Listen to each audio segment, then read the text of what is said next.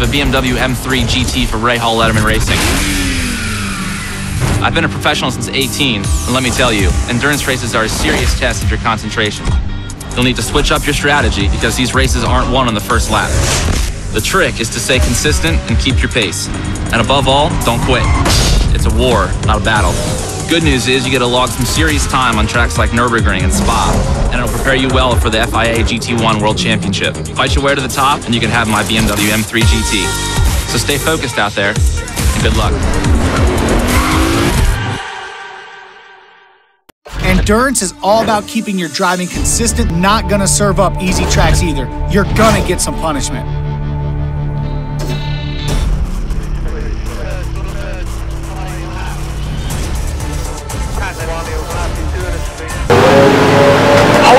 Position off the line. Don't let anyone pass.